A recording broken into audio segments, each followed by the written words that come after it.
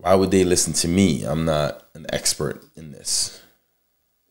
Right? I just started four years ago. I'm not an expert in this. Right? Uh, you can't charge that much. Oh my gosh. Why so much? Again, you're not an expert. How can you afford why why do you think you deserve to charge people so much? Right? You're not like so and so who's been around for 20 years. Okay? Or this one. I don't belong in that room because I don't have the master's degree or the PhD or um, a doctrine or whatever it is, that piece of paper, or a million dollars. So you took yourself out of a room, and the only thing that's keeping you from going in that room is that door and the knob on it. Nobody said you have to own the room, right?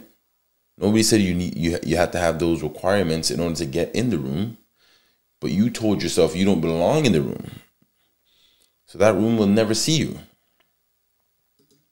That's a mentality.